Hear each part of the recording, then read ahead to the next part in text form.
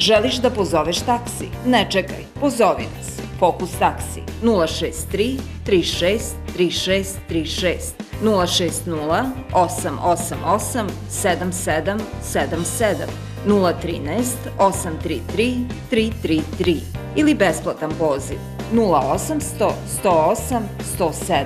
Naš minut je uvek minut. Siguran, udoban, brz.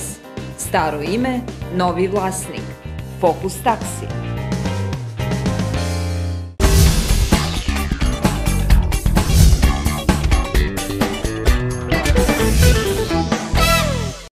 Nakon jučerašnjeg eh, kratkotrajnog snega i jutrašnje magle, danas u toku dana promenljivo oblačno sa sunčanim intervalima i toplije.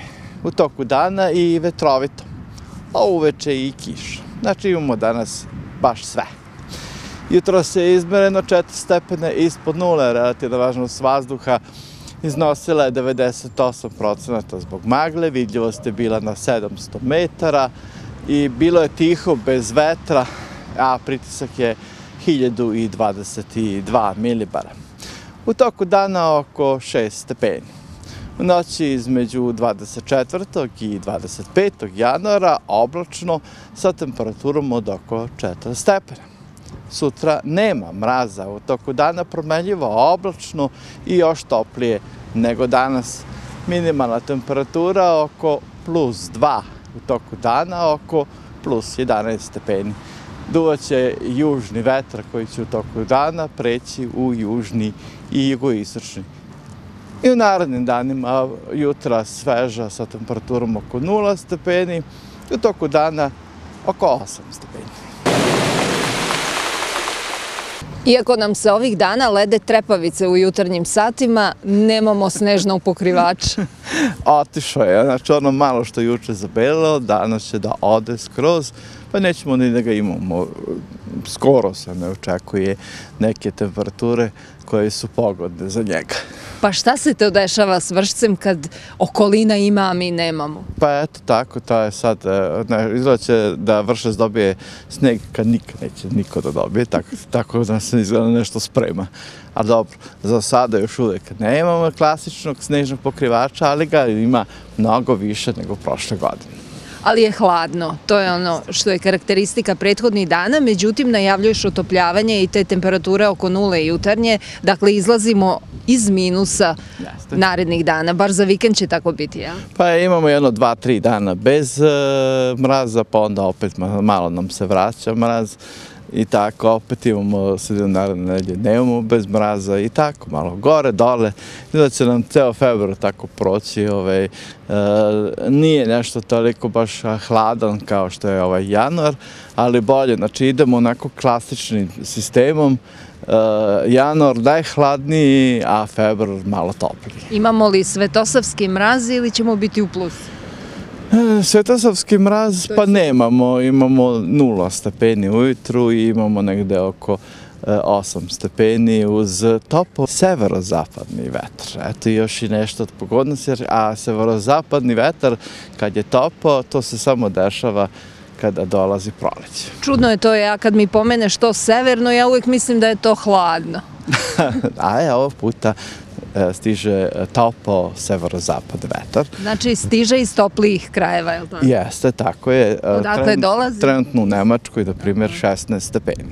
Da, a pa ajde kad si počeo već, pomenuo si Nemačku i prethodnih dana je bilo velikih problema u Kini, Americi, negde poplave, bilo i smrtnih slučajeva, dakle temperature gore dole variraju.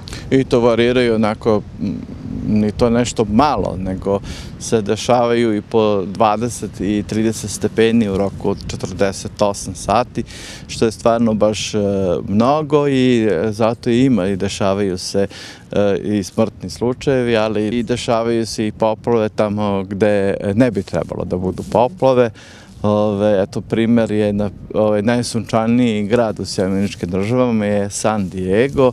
Dobio je pre neki dan 200 litara po metru kvadratnom u roku od e, 24 sata. A San Diego nema ni neku E, odvodnu kanalizaciju, zato što ima preko 300 dana sa sunčanim vremenom i eto sad ima velikih problema sa vodom koje nema da da ode. U Kini su također jako velike razlike u temperaturi i dešavaju se isto koji u svim delovima sveta. Dešavaju se još plus i zemljotres ima problema sa veoma velikom razlikom od severa da je minus 30 do juga, da je čak skoro plus 30 stepeni, ali tamo su oni to navikli zato što su takve, takve zima u Kini, uglavnom suva i e, dosta varira što se temperature tiče. Da, pa drma se tlo svuda, pa i kod nas. Pa jeste, imamo i mi taj male, sitni e, zemljotrišćići koji prave malo problema, više e, prave strah nego što prave štetu. E, to je uobičajeno. Srećom. To je uobičajeno, mislim, e, kaže da je zemlja u ovom periodu uvek nešto malo više geološki aktivnija, zato što se, ovaj, možda kažemo sada polako, kao vraća, na, uspravlja se. I naši samo i mi sami kad ustaneš kako je ti teško. Malo smo u potresima. e pa tako i naša planeta Zemlja, zato što se trenutno vraća e, uspravlja se što bi se reklo, znači stiže nam ravnodnevnica, a to je tamo u martu mesecu, tako da eto, eto i to je jedan možda i razlog zato što je tako malo i trusto. Da, Evropa? Vreme? Pa u Evropi je uh, isto, u stvari sada od, počeo od, možda da kažemo, od današnjeg dana, gotovo u celoj severnoj polovopti počinje otopljenje svuda i u semeničkim državama i u Evropi, uh, otopljava i u Skandinaviji, gde je u do sada, do 20. januara bilo veoma hladno, sada i tamo su temperature počele da budu iznad nula stepeni. Jedino Rusija, tamo je e, veoma hladno i temperature su dosta niske. Eto, otoplilo je čak i u našem Verhojansku, nije više minus 50, sada je minus 40. Što se tiče biometeoroloških prilika, vreme uvek utiče naravno na njih. Srčani bolesnici treba da se čuvaju, tu su i osobe sa respiratornim problemima, glavobolja i poremeće sna su meteoropatske reakcije. A znaš zašto još? Šta je sutra? Sutra je pun mesec. Zato, Da, zato zato je, eto, poremeće sna, sad shvateš zašto. Znači, sutra u 17 časova i 53 minuta je vrhunac punog meseca, tako da, eto, eto, to je u stvari više glavni razlog nego samo vreme.